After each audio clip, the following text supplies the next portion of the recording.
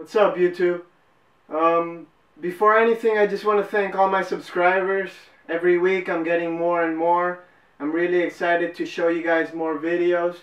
Um, sorry I haven't put up any videos in a while. I've been kind of busy, but uh, today I'm going to talk about some of the basics of breeding crested geckos. Stay tuned. So obviously the first thing we need when breeding crested geckos would be a male and a female. As you can see, this adult gecko just has a flat surface by the vent, which indicates it's a female. There's a better look at the vent of a female crested gecko. See, totally flat.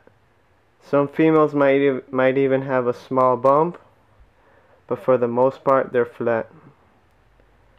Now let me show you a male vent. That's what the bulge looks like on a male crested gecko. As you can see it sticks out pretty good from the vent of the animal.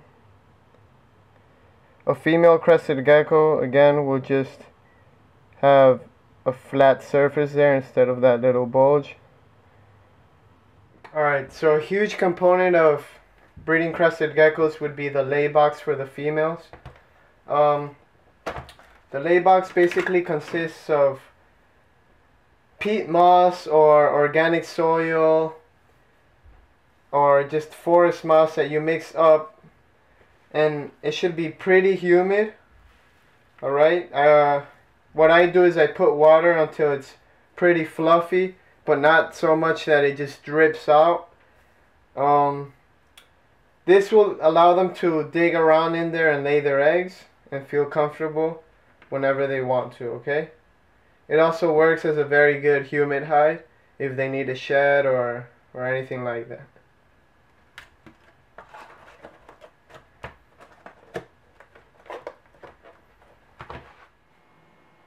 This is what one of my breeding groups looks like. Um, as you can see, I have the male right there and female number one female number two. Plenty of room for them to run around climb. A lay box right there.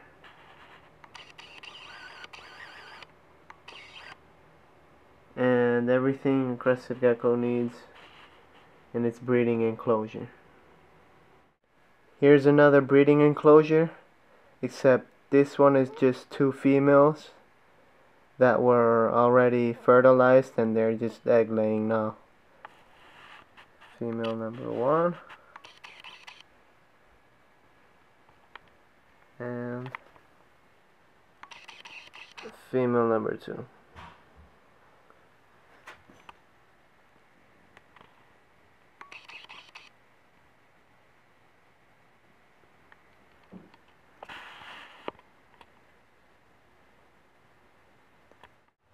Alright, so something that everybody should take in consideration when breeding cresteds is that the temperature and the feeding. Feeding should, in my opinion, should be done every night. When I am not breeding, I usually just feed every other night. But when I'm breeding my geckos, I feed every night. And I make sure I give them a lot of bugs, a lot of protein. That's one thing. The temperature I have found out that if it's a little bit higher, maybe around lower 80s or high 70s, the geckos tend to to be more responsive towards each other, okay? Um, that's that's those are two things that you may want to check if you have a male that's not breeding with a female. It might be the feeding or the temperature. Also, the first time breeders usually take a little bit longer than than the more experienced breeders obviously. The males don't find it so easy to grab a hold of the female and breed her.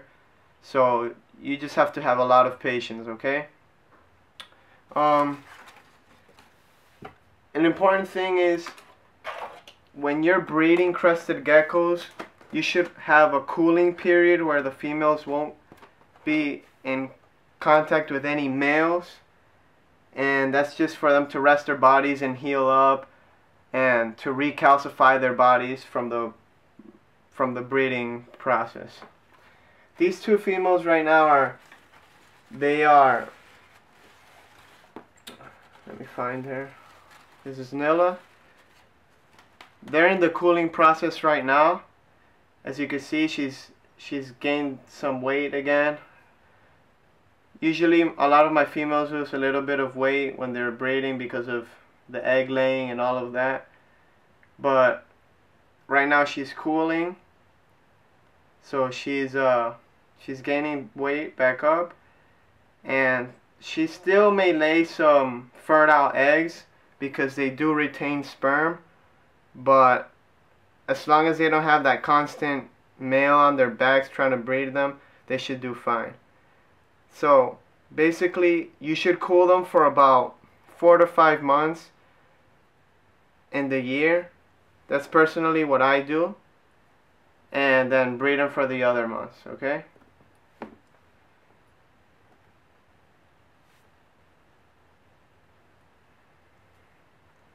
That's Nella and this is Parchita. They are both cooling. I keep my females together when they're cooling because they seem to get along.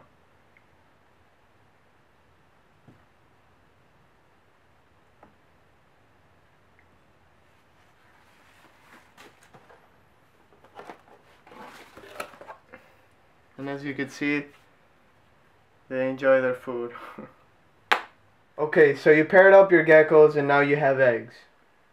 Now, there's three main substances that the Rhacodactylus breeders mostly use. That would be the vermiculite, perlite, or the super hatch, the Repashy super hatch. Me personally, I found find more success with the super hatch, but uh, you could e use either or or a mixture of any.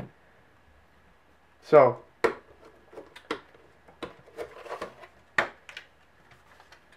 this is my incubator.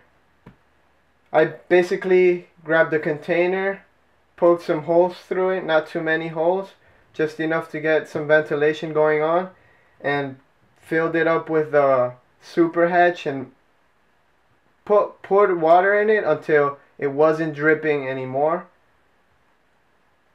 So it's just it's still moist as you can see but not too wet where it might mold the eggs the eggs will usually take about depending on the temperature 60 to 100 days to incubate.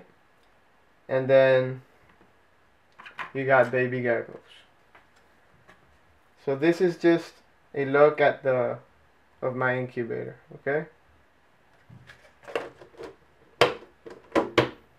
Alright.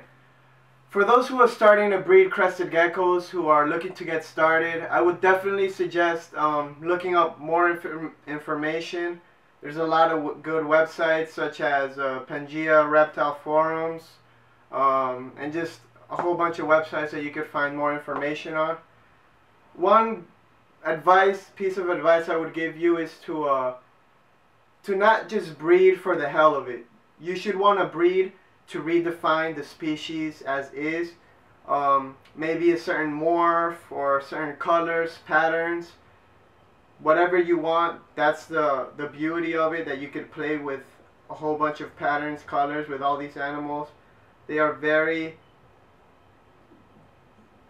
the variety in these animals is second to none. And the possibilities are endless. So, again, I would just advise to try to redefine the the crested gecko species by putting together two animals that will just redefine the certain morph. Or if you think there's certain traits that you won't want to apply to certain morphs make combinations you could really play with it. But uh, that's my piece of advice you know don't just breed for the hell of it